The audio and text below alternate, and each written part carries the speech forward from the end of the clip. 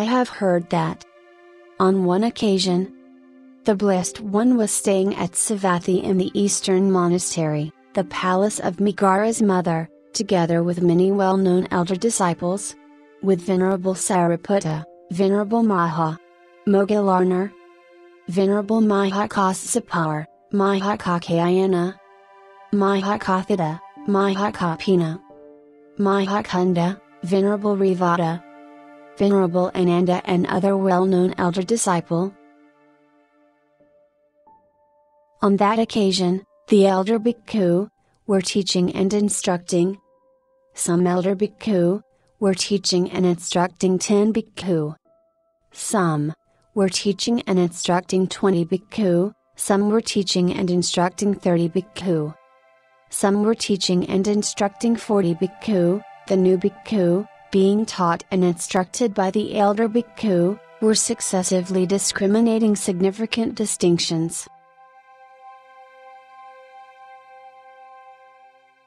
Now on that occasion, the Uposatha day of the 15th, the full moon night of the Pavarana ceremony, the Blessed One was seated in the open air surrounded by the community of Bhikkhu.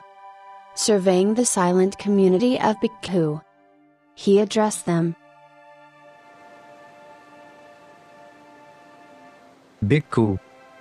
I am content with this practice. I am really content in mind with this exercise. So arouse even more intense persistence for the attaining of the as yet unattained, the reaching of the as yet unreached, and the realization of the as yet unrealized.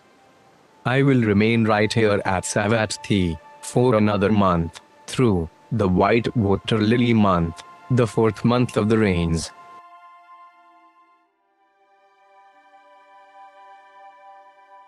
The bhikkhu, in the countryside heard on what they said.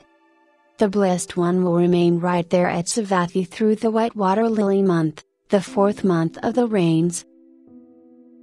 So, they left for Savatthi to see the Blessed One,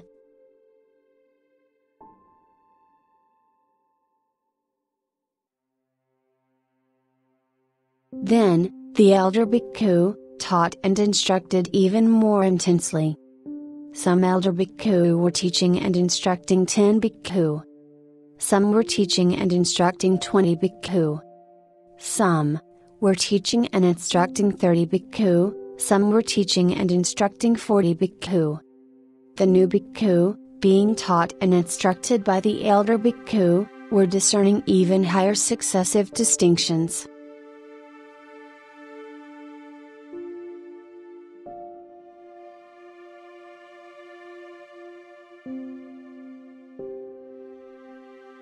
Now on that occasion, the Uposatha day of the 15th, the full moon night of the white water lily month, the fourth month of the rains.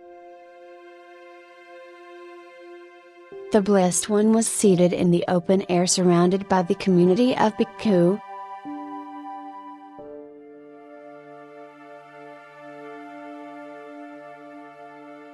Surveying the silent community of Bhikkhu, he addressed them.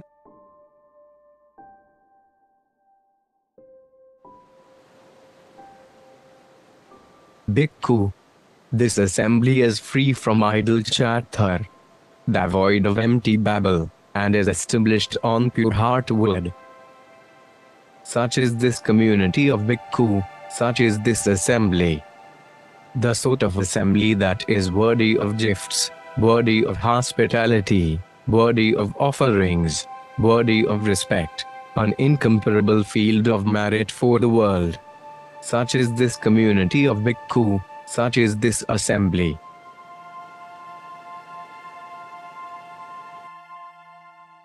the sort of assembly to which a small gift, when given, become great. And a great gift, become the great thar. Such is this community of Bhikkhu, such is this assembly. The sort of assembly that it is rare to see in the world, such is this community of Bhikkhu, such is this assembly. The sort of assembly that it would be worth traveling for leagues, taking along provisions, in order to see.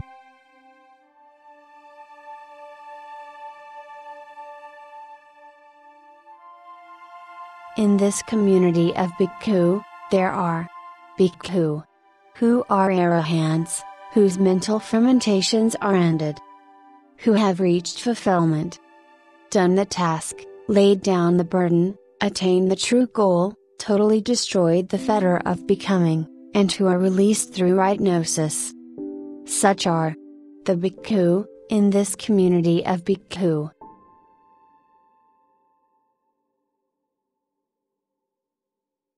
In this community of bhikkhu, there are bhikkhu who, with the total ending of the first set of five fetters, are due to be reborn in the pure abodes.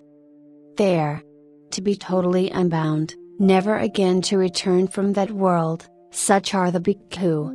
In this community of bhikkhu.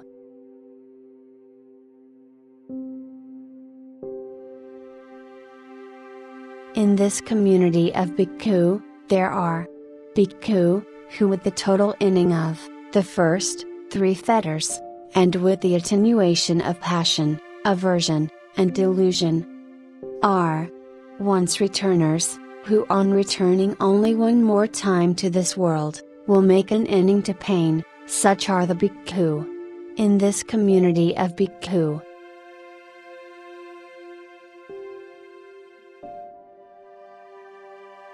In this community of bhikkhu, there are bhikkhu, who with the total ending of the first three fetters, are stream winners, steadfast, never again destined for states of woe, headed for self awakening.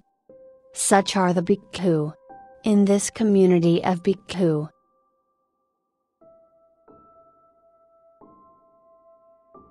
In this community of bhikkhu, there are bhikkhu who remain devoted to the development of the four frames of reference, the four right exertions, the four sources of force, the five abilities, the five powers, the seven factors of awakening, the Noble Eightfold Way, such are the bhikkhu.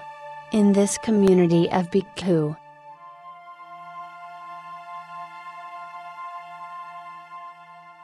In this community of bhikkhu, there are bhikkhu who remain devoted to the development of goodwill, understanding, joy, equanimity, disgust of the body, the perception of impermanence, such are the bhikkhu. In this community of bhikkhu. In this community of bhikkhu, there are bhikkhu who remain devoted to mindfulness by in and out breathing.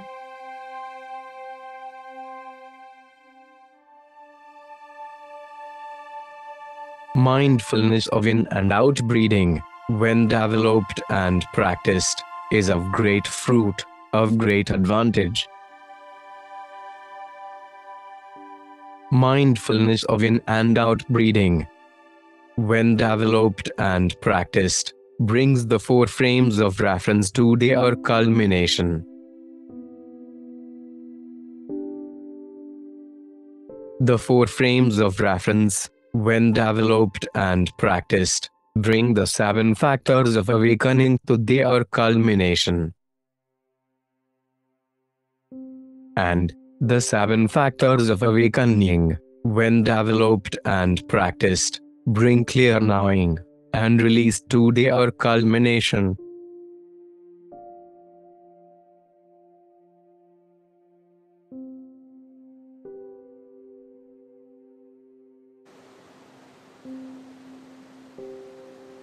Now, how is mindfulness of in and out breathing developed and practiced? so as to bring the four frames of reference to their culmination? There is the case where a bhikkhu having gone to the wilderness, to the shade of a tree, or to an empty building, sits down folding his legs crosswise, holding his body erect, and setting mindfulness up in front. Always mindful, he breathes in. Mindful, he breathes out. Inhaling long, he notes that he is inhaling long. And exhaling long, he notes that he is exhaling lungs. Inhaling short, he notes that he is inhaling short. And exhaling short, he notes that he is exhaling short. He trains himself to inhale, experiencing the entire body, and to exhale, sensitive to the entire body.